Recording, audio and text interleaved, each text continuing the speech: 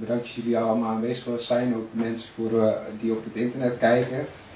Um, ik ga het vandaag hebben over uh, Halloween en, je, jezelf hier tegen te beschermen en ook tegen ongoddelijke praktijken van de duivel. Nou vragen jullie misschien af, waarom vertel ik over Halloween? Uh, dat komt omdat het morgen 31 oktober is en dat is de dag dat Halloween gevierd wordt. Um, ik weet niet of mensen zelf ook mee hebben gemaakt, uh, de afgelopen week gewoon veel Halloween dingen op tv, in de krant en gewoon in, in winkels zijn. En uh, ja, ik wil graag de kinderen van God, maar ook de mensen die niet geloven en die misschien kijken via het internet, zeg maar hier bewust van maken van wat de gevaren hiervoor zijn, van het vieren. En dit is ook echt iets wat God op mijn hart heeft gelegd om de mensen hiervoor te waarschuwen. Want dit is iets wat je eigenlijk niet zou moeten vieren. Zeker niet als kind van God. En de, hoe kom ik op dit onderwerp? Dit komt omdat God, uh, toen ik laatst op vakantie was met Maria, toen uh, sprak God tegen mij, toen was in Utrecht. En ik schrok heel erg van wat ik zag. Niet alleen omdat het vanwege Halloween was, maar in het algemeen. Ik liep door de stad en ik zag zoveel goddeloosheid, zoveel, uh, ook binnen kerken. Ik ben in de Domkerk geweest en ik zie mensen lopen met satanistische, met petten en met kleding op en met horentjes, um, ook met regenboogvlaggen. En ik werd gewoon heel erg verdrietig en ik schrok daar heel erg van. Zelf studeerde ik in Amsterdam en ik heb daar veel gezien. Maar ik vond het in Utrecht, vond ik, viel het mij zo erg op dat ik dat echt, echt, God sprak echt tegen mij van Gabriel, vertelde mensen van waar ze voor moeten oppassen. Want heel veel mensen weten niet wat ze aan het doen zijn, weten niet waar ze binnenlopen. En ik wil graag dat jullie bij mij komen. Al, al de kinderen van God, en ook de mensen die niet geloven zijn ook de kinderen van God natuurlijk. Dat zij mij zullen vinden. Dus daarom dat ik uh, hierover ga praten. En de reden waarom dat dit zo belangrijk is, is als mensen zich hier niet aan houden, dan zullen ze Jezus niet echt kennen. En je moet Jezus echt kennen om tot God te komen. En dat staat bijvoorbeeld ook in Matthäus, vers, uh, of uh, stuk 7, vers 13 tot en met 14. Ga door de nauwe poort naar binnen, want de brede weg die velen volgen en de ruime poort waar velen daar, daar naar binnen gaan, leiden naar de ondergang. Nauw is de poort naar het leven en smal de weg er naartoe. En slechts weinigen weten die te vinden. En dat is ook de reden waarom dat ik het graag wil vertellen. Omdat er heel veel mensen zijn die op dit moment over de brede weg lopen. Ook vele christenen die denken dat ze het bij het juiste eind hebben. Of die het beter weten dan het woord van God wat in de Bijbel staat.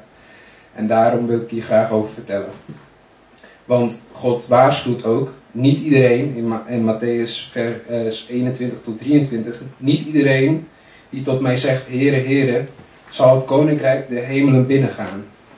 Maar wie dat wil van mijn Vader, die in de hemelen is, velen zullen die dag tegen mij zeggen, Heere, Heere, hebben wij niet in uw naam geprofiteerd en in uw naam boze geesten uitgedreven en in uw naam vele krachten gedaan? En dan zal ik hem persoonlijk zeggen, ik heb u nooit gekend, ga weg van mij, gij werkers der wetteloosheid. En dat wil ik ten koste voorkomen, dat mensen dat zullen horen, want dat wil denk ik geen enkele christen zou dat willen horen.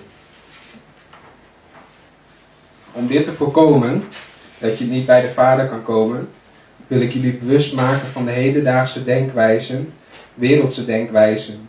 Dat dit, en wat ook langzaam binnen de kerken en christenen genormaliseerd wordt. Ik begin vandaag daarom over Halloween. Nou zullen velen zich misschien afvragen en sommigen zullen het misschien wel weten. Wat is Halloween? Halloween is, oorspronkelijk ontstaan door een oud feest van duizenden jaren geleden. Dat gevierd werd door de Kelten in Ierland op 31 oktober. Het wordt ook wel Samhain genoemd, oftewel nieuwjaarsfeest. Zij zien het als een nieuwjaar of het feest van transitie. Het was vroeger een vuurfeest voor het oogsten van het voedsel. Dus aan het einde van het seizoen, dan als de oogst binnen werd gehaald, dan vierden ze zij dit. Hierin werd bijvoorbeeld vee geofferd, mensen waren aan het bidden uh, en er was een rond wiel dat ze in de fik uh, zetten en die ronddraaide. En als dat uitgebrand was, namen ze allemaal een stukje mee en dat deden ze in een kachel om hun huis mee aan te steken. En ehm, ja, dat deden ze omdat ze in de tijd van transitie, dat, eh, dat er dan dollende geesten van hun voorouders terug zouden komen. En dollende geesten, dat kunnen wij beter op de dag van vandaag verstaan als demonen. Die langskomen van mensen die niet tot de, tot de hemel zijn gekomen, maar op aarde blijven rondzwerven. En daarvoor maakten zij bijvoorbeeld, zoals je hier ziet op het plaatje, zie je een pompoen en met een kaarsje erin. En die zetten zij dan voor de deur. En dat zou ervoor moeten zorgen dat de uh, dollende geesten niet bij in huis zouden komen en hun niet lastig zouden vallen. Nou ja, waarom het feest van transitie? Daar heb ik ook al een stukje over verteld, omdat het geoogst werd. En zij geloofden ook in die tijd, op die dag op 31 oktober, dat de uh, relatie of de barrière tussen de fysieke wereld en de spirituele wereld wegviel. En wat, hoe kan je dit opvatten? Je kan je dus opvatten dat demonen veel meer energie en kracht hebben op dat moment. En dat de realiteit van wat wij in de wereld zien en het spirituele heel dicht bij elkaar komen. En dit maakt het heel erg gevaarlijk, zowel voor christenen als voor ongelovigen, voornamelijk ongelovigen, want christenen zullen hier in het algemeen bewust van zijn, ehm, dat zij hiermee lastiggevallen kunnen worden of aangevallen worden door de demonen. Ehm, in deze periode wordt het ook vaak eerder donker en later licht. Ook nu de klok is teruggedraaid, is het natuurlijk nog eerder donker en hebben we een grotere duisternis. Um, op deze speciale dag wordt ook veel gebruiken heksen deze dag ook om hun rituelen uit te voeren. En niet alleen heksen vieren dit als dag, dit wordt ook wel het oud en nieuw voor heksen genoemd. Maar ook satanisten vieren dit feest. En daarom is dit echt heel belangrijk om dit goed te weten, als, zeker als christenen, maar ook als ongelovigen, dat dit, dit is een feestdag voor eigenlijk al het occulte wat in de wereld bestaat. En dat is gewoon heel gevaarlijk. Zeker als kind van God om hier aan deel te nemen. Moet je je afvragen van zou ik dit wel willen? En niet alleen van voor jezelf, maar ook voor je naasten, voor je kinderen, voor uh, wie je misschien maar op straat tegenkomt. Want wij moeten onze naasten lief hebben. Nou, dit is echt een manier of een boodschap die je ook tegen anderen mag vertellen en delen. Van jongens, let op wat je doet. Want, dit, want misschien weet je hier niet van, maar vier dit feest niet. bepaalde rituelen die bijvoorbeeld uh, hiermee gehouden worden tijdens dit feest, voor vroeger dan, zijn toekomst voorspellen met tarotkaarten, maar ook wensen die ze op takken en in het vuur gooiden, uh, God uh, of goede voornemens verzinnen en, die, en hierop proosten. Dus dan het klinken van het glas bevestigt dat je wens is gehoord. Zo zagen ze dat. En dan zeggen ze bijvoorbeeld vaak het is beklonken. Dat komt van het proosten met elkaar van de glazen. Of bijvoorbeeld een offer brengen bij de boom des levens en een wens uitspreken hierbij. Nou kun je je afvragen waarom is het in Nederland gekomen, omdat het vanuit oorsprong in Ierland is ontstaan. Ehm, dit feest is in de 19e eeuw door Ierse immigranten naar Amerika gebracht waar het nog altijd uitgebreid gevierd wordt, nog meer dan dat wij het hier kennen.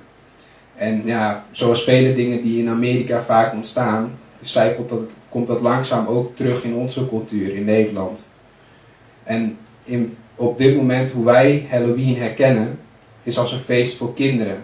En wat maakt het ook zo gevaarlijk? Want kinderen worden van jongs af aan geleerd dat dit onschuldig is en dat dit een leuk feest is. En het wordt heel aantrekkelijk gemaakt met snoep en toch is dit heel gevaarlijk, ook voor de ouders.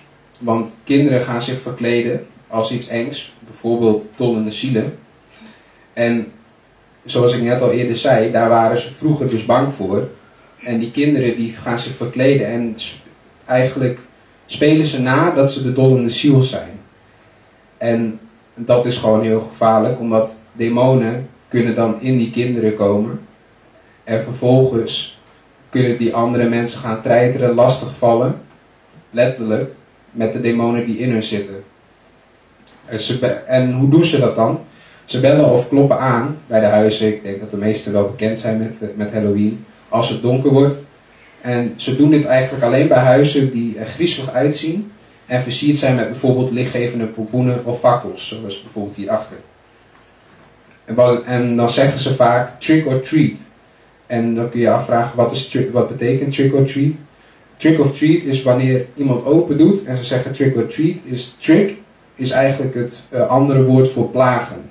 Net zoals een plaaggeest, demon eigenlijk, die de mensen lastig valt. En als je dat niet, dus als je geen eh, snoepje geeft, wat treat is, dan zouden die kinderen dus de mensen waar ze langskomen blijven plagen.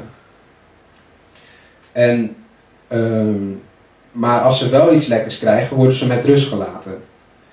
Dat is voor kinderen dan op dit moment. Maar voor volwassenen houdt het vaak in dat er een feest is, een gezellige borrel of eh, weet, ik wat, weet ik wat, wat versierd is. Wat ervoor zorgt dat er openingen komen voor de duivel om in jouw leven te komen en in jou te komen.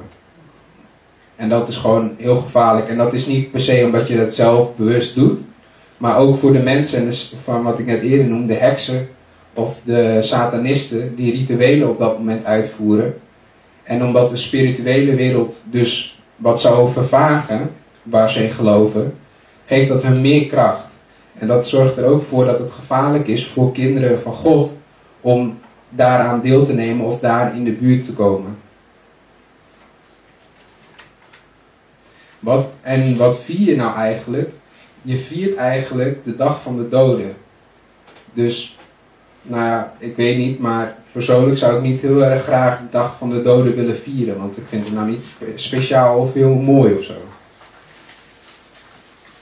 Nou kun je afvragen, wat is er dan echt zo gevaarlijk om Halloween te vieren?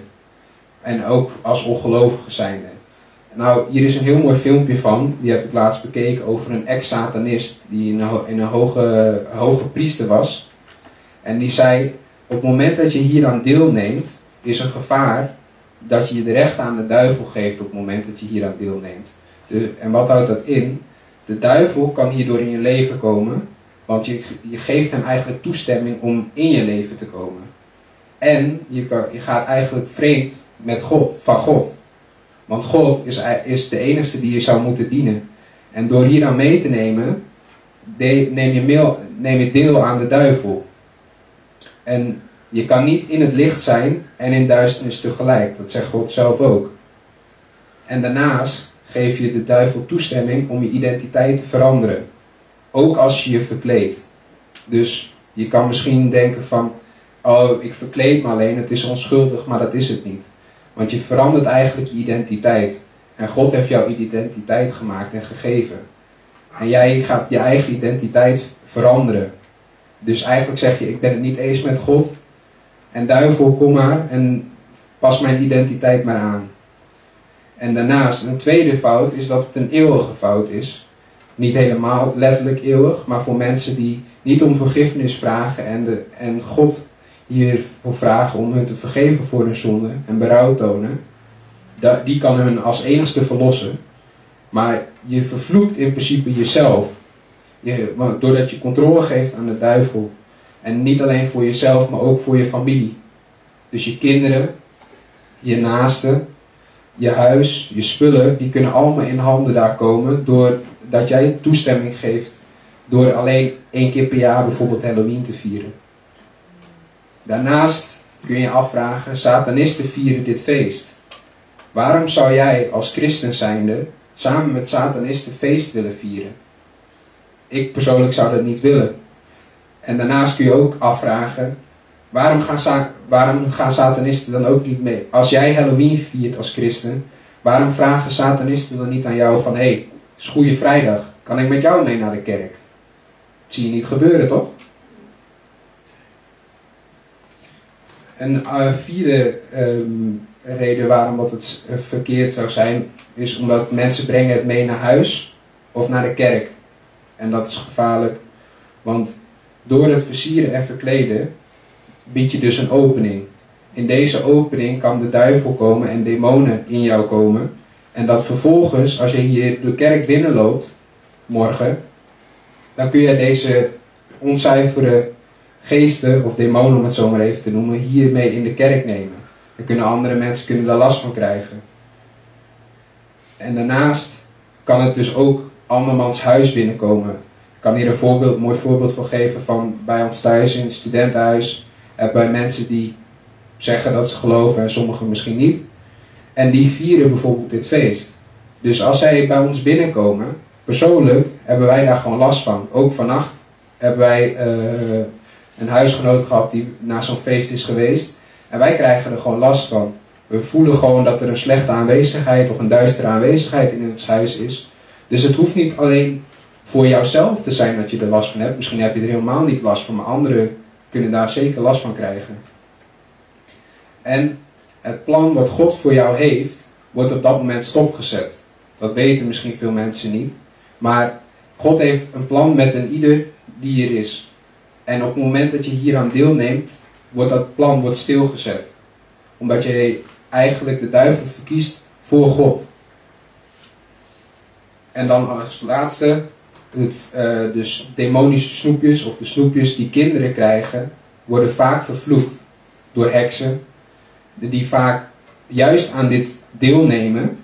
En die gaan dan gewoon hun huis versieren en denken van, oh die kinderen die kan ik wel even mooi pakken. Dat is wat ze denken. En dan gaan zij die snoepjes en die gaan ze vervloeken. En de kinderen die langs de deuren gaan en die dan trick or treat zeggen, die krijgen dan hier, pak maar, pak maar, pak de hele bak maar, bij van spreken. En vervolgens krijgen die kinderen allemaal vloeken binnen. En die vloeken nemen zij mee naar huis. Dus ook als ouders zijnde krijg je, kun je daar last van krijgen. En bepaalde, ik zal even bepaalde bijbelteksten die dit bevestigen, ter bevestiging. Want God zegt ook in Efeziërs, hoofdstuk 5, vers 11 en 12: Neem geen deel aan de vruchteloze praktijken van de duisternis, maar ontmasker die juist. Want wat daar in het verborgene gebeurt, is te schandelijk voor woorden. Dus hier waarschuwt God ook voor deze duistere, de duistere praktijken die gedaan worden. En bijvoorbeeld in Deuteronomium, vers 13, 5, Blijf de Heer uw God volgen en heb alleen voor hem ontzag. Leef zijn geboden na en luister naar hem. Dien alleen hem en blijf hem toegedaan. Dus als je dit volgt, ben je dan God aan het dienen? Ik zou zeggen van niet. Op het moment dat jij het doet, God waarschuwt hiervoor. En alsnog, als jij denkt van, nou, ik kan hier wel naartoe.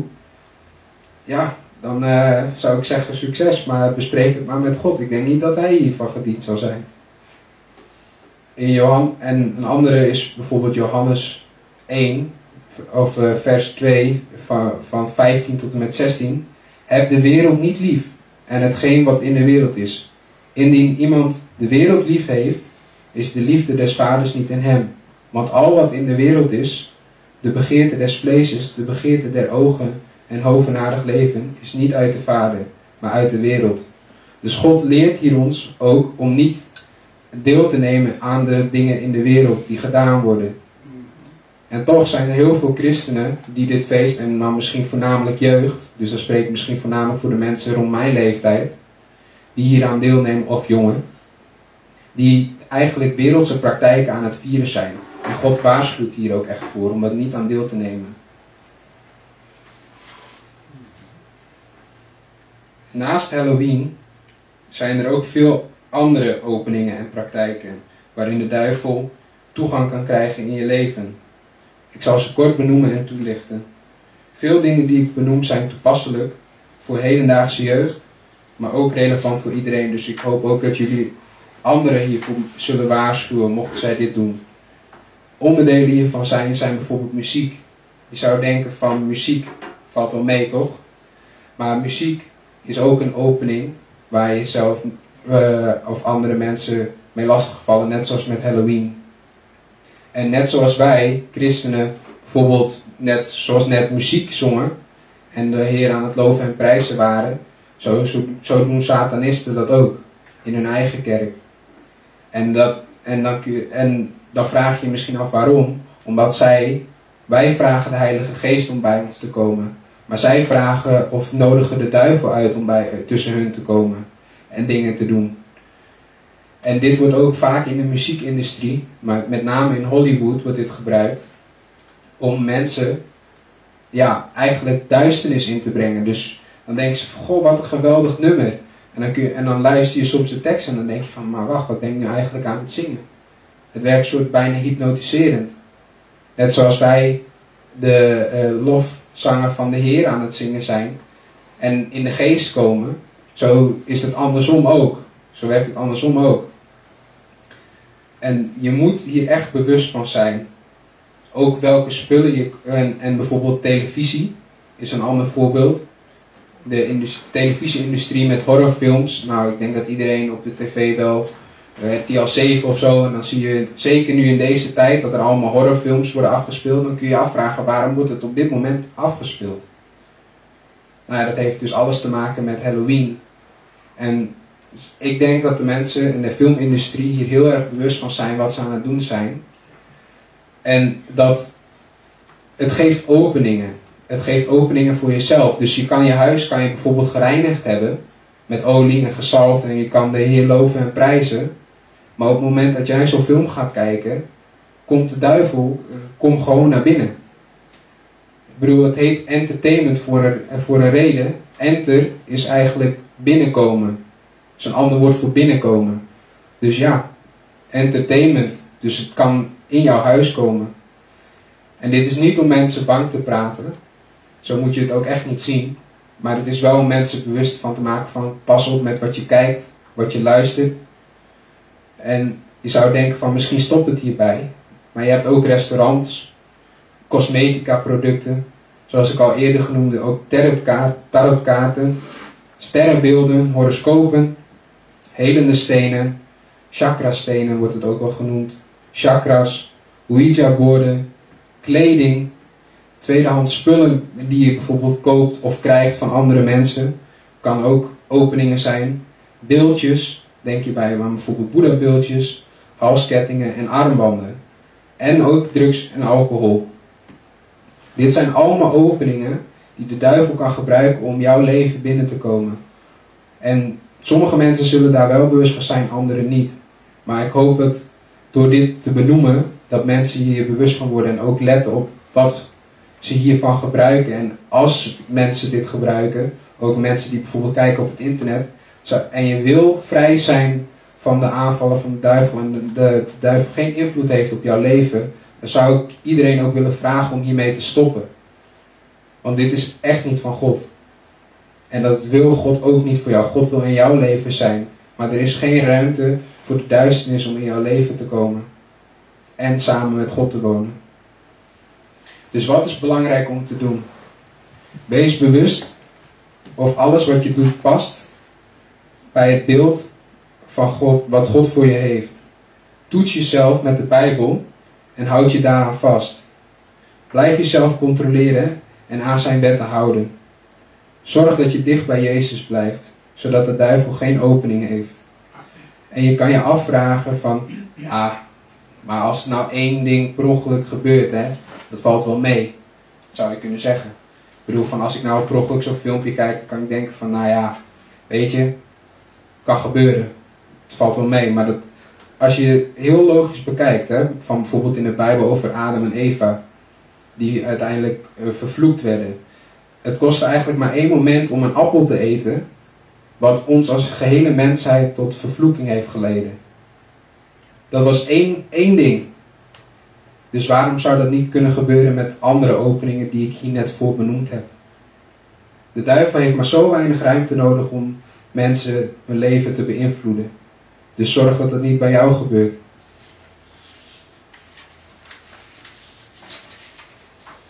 En bijvoorbeeld met eten en drinken, om daarop terug te komen, denk bijvoorbeeld aan Duvel. Bijvoorbeeld een biermerk, die denk ik de meeste mensen zullen kennen. Ook veel restaurants hedendaags op dit moment hebben bijvoorbeeld een, een partytent staan buiten of een parasol waar Duvel op staat. Nou zullen de meeste mensen daar niet heel erg bewust over nadenken en zullen gewoon naar binnen lopen en denken van nou ja, het zal allemaal wel, lekker bier. Maar ja, je kan je afvragen, waarom is dat bier zo lekker? Hoe kan dat toch? Want de duivel, die kan ook hele lekkere dingen maken. En die geeft gewoon de macht aan deze persoon, aan de oprichter van dit bedrijf, om juist dat bier zo aantrekkelijk te maken. En waarom denk je dat zoveel restaurants op dit moment juist dat bier verkopen of die parasol hebben? Omdat die eigenaar zegt van, oh hier, je hoeft niet zoveel te betalen voor deze parasol. Of misschien helemaal niks, misschien krijgen ze het wel gratis. Maar het is wel promotie voor de duivel. En kinderen van God drinken dit bier. Waarom zou je als christenen een bier waar open en duidelijk bloot staat duivel? Het heet dan duvel, maar ik hoop dat het voor de meeste mensen duidelijk is. En daarnaast heb je ook gewoon veel tenten hedendaags, ook vooral in Utrecht van wat ik zag, die bijvoorbeeld uh, regenboogvlag op hun deurpost hebben. En dat is echt niet van God. En ik denk dat heel veel mensen zullen daar misschien boos over worden, want dat is het hedendaags. Mensen vinden op het moment dat je het daar niet mee eens bent, dat het slecht is en dat je dat je, je moet schamen en dat acceptatie voor moet zijn. Maar in de Bijbel staat dat dat helemaal niet moet. En bijvoorbeeld, zoals ik net benoemde, cosmetica producten. Er zijn heel veel producten die bijvoorbeeld vervloekt worden door heksen. En vooral de laatste tijd is het heel erg op het nieuws om dit te promoten. En deze producten zijn gewoon vervloekt. Dus vooral voor de meiden die dit kijken, vrouwen, die deze producten opdoen, dat kan ook zorgen voor bijvoorbeeld hele erge huiduitslag bijvoorbeeld. Want sommige vrouwen hebben daar last van dat zij die make-up producten opdoen. En dan kun je afvragen, hoe kan het toch dat ik hier zo heftig op reageer? Of dat mijn huid hier zo onrustig van wordt. Maar ook bijvoorbeeld helende stenen, wat op hedendaags heel erg populair is. En wat heel veel verkocht wordt. Dat mensen helende stenen in bijvoorbeeld een armband of een ketting doen. Maar ook in huis, hele grote kristallen. En dat dan een bepaalde helende werking zou moeten hebben. Nou, geloof me, dit is echt niet van God. Want God zegt dat Hij de enige is die geneest. En niemand anders. Dus pas hiermee op. Neem dit niet in huis. Accepteer dit niet. Kun je ook als cadeau krijgen van andere mensen. Gooi het weg. Maar neem het niet in huis, want dit is een opening. Net zoals chakras hedendaags. Tenminste, ik hoor de laatste tijd ook van vrienden om me heen die over chakras aan het praten zijn. Dit is een Indiaanse traditie of geloof. Nou, als christen zijn, zijn er ook mensen. Ik, ik heb ook zelf vrienden die, die zichzelf christenen noemen. En dit alsnog naar kijken en beoefenen. Ja, dit is niet van God. Je kan niet twee geloven dienen. Want dit is eigenlijk gewoon een ander geloof. En dit is gewoon een dwaalleer. De enige die je echt kan helpen is God. Daarnaast heb je bijvoorbeeld Ouija-borden. Ik weet niet of de meeste mensen hiermee bekend zijn. Maar dit zijn bordspellen waar je eigenlijk demonen aan het oproepen bent. Die jou antwoorden zouden moeten geven. Maar als je dit speelt, kan de duivel echt door je heen gaan werken en jou overnemen. En dit is ook echt heel erg gevaarlijk. Dus doe dit vooral niet. Speel dit niet, kom er niet mee in aanraking. En het is natuurlijk heel moeilijk, zeker als, als jongere, omdat je vrienden hebt en die zeggen van, ah, maar dit valt wel mee, of ben je bang, of groeps, groepsdruk die op dat moment speelt. Maar wees gewoon slim, wees verstandig en loop weg. Daarnaast heb je ook geluidshelingtherapieën, bijvoorbeeld, die op dit moment heel erg aantrekkelijk zijn. Of met geluid, bepaalde geluidfrequenties die ook bijvoorbeeld helende werking hebben. Zouden moeten hebben, net zoals met die helende stenen. Dit ook, dit is gewoon een dwaalleer. Doe dit niet, zoals ik net ook al zei. Gewoon, God is de enige die kan genezen. God is de enige die je kan verlossen van de problemen in je leven die je hebt. Niemand anders. Daarnaast heb je bijvoorbeeld beeldjes, zoals Boeddha-beeldjes, armbanden. Ook bijvoorbeeld een bekend merk, ik weet niet of mensen hier bekend mee zijn, maar bijvoorbeeld Buddha to Buddha heet dat. Dat is een bepaald merk wat uh, armbanden, kettingen, ringen en zo. Nou, één ding. Dit soort spullen hoef je als christen echt niet te kopen of te dragen of in je huis te zetten. Want dit ook, dit is gewoon een opening voor de duivel om in jouw leven te komen. Daarnaast hebben we als laatste nog drugs en alcohol. En dan zou je denken van ja, drugs en alcohol, ik drink misschien één keer een biertje. Nou gaat het niet per se omdat je een keer een biertje drinkt, maar dit gaat voornamelijk over het uh, veel gebruiken van alcohol. Of, of eigenlijk wat Lucia ook met haar, uh, met uw dochter was dat, toch? Uh, mijn nicht. Mijn, uw nicht. Ja. Nou ja, die veel drinkt. Dit, dat is ook een, een opening voor de duivel om in te komen, omdat het verzwakt je geest. Het verzwakt je geest. En dan kun je afvragen van, ja, waarom is dat dan zo erg? Nou, in de Bijbel staat, in Corinthians 1, in hoofdstuk 6, vers 19 tot 20. Of weet u niet dat uw lichaam een tempel is van de Heilige Geest, die in u woont en die u ontvangen hebt van God? Weet u niet dat u niet van uzelf bent? U bent gekocht en betaald. Dus bewijs God en eer met uw lichaam. Nou, dit is wel echt een goede uitleg. En op het moment dat jij alcohol of drugs neemt, ben je dan tot eer voor God. En God zegt, jouw lichaam is niet van jezelf, maar van mij, want ik heb jullie gekocht. Dus eigenlijk als, als kinderen Gods moeten wij God eren met ons lichaam. Maar op het moment dat wij, om het zo maar even te zeggen, deze troep heel erg gaan gebruiken, zijn we God eigenlijk vies aan het maken. En zal de Heilige Geest ook echt niet in je willen zijn op dat moment. Die zal uit je vertrekken. Of juist verzwakken. En dat is wel een heel gevaarlijk, omdat er heel veel mensen zijn die bijvoorbeeld, ook jeugd, die christenen zijn, die in het weekend even lekker gaan zuipen met vrienden. Om het zo maar even te noemen in die termen. Nou, en dan vervolgens dus de dag daarna, bijvoorbeeld op een zaterdagavond en zondag weer in de kerk zitten. Ja, dit, dit, ik kan er persoonlijk zelf niet goed bij waarom je dit zou willen, maar er zijn mensen die het doen. En ik moet ook eerlijk bekennen hoor, niet dat ik, dat ik het niet gedaan heb. Ik heb het vroeger ook gedaan. Dus eh, het is echt niet om, om als heilige nu over te komen. Ik heb sommige dingen van die ik net opgenoemd heb zelf ook gedaan. Dus ik spreek niet alleen vanuit de dingen die ik vanuit het woord lees, maar ik spreek ook gewoon vanuit mijn eigen ervaring en de dingen die ik zie.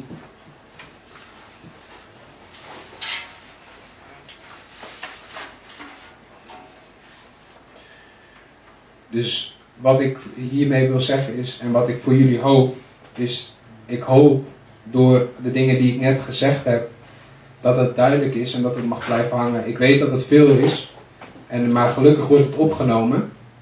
En uh, ik zou iedereen vragen en oproepen van mocht het te snel zijn gegaan of mochten de dingen onduidelijk zijn, kijk het dan opnieuw.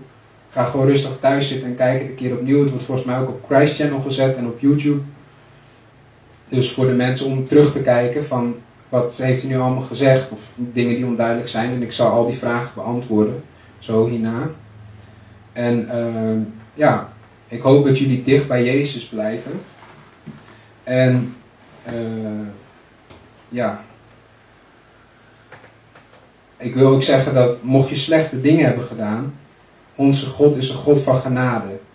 Dus ondanks dat je slechte dingen hebt gedaan of dat je misschien een van deze dingen doet, het is nooit te laat om naar God te komen en om voor genade te vragen en dat Hij je kan verlossen van deze dingen. Dus of je nu gelovig bent of niet, van je kan altijd bij God terecht. Het enigste wat je als christen, maar ook als mens die niet gelooft, kan doen, is uh, berouw tonen en om vergiffenis vragen en je afkeren van deze slechte praktijken van de wereld, zoals Halloween en de bovenstaande praktijken die ik zo net genoemd heb. En ik wil jullie graag bedanken voor deze preek, dat jullie naar mij geluisterd hebben. En mocht je nog vragen of opmerkingen hebben, zoals ik net al zei, dan uh, zal ik die na de dienst beantwoorden. En uh, daarnaast wil ik je hierbij benadrukken dat jullie zelf mijn woord zullen moeten toetsen en controleren op basis van de Bijbel uh, neem niet alles klakkeloos over van mij, maar ook niet van anderen die komen spreken. En doe altijd je eigen onderzoek in de Bijbel. Dankjewel.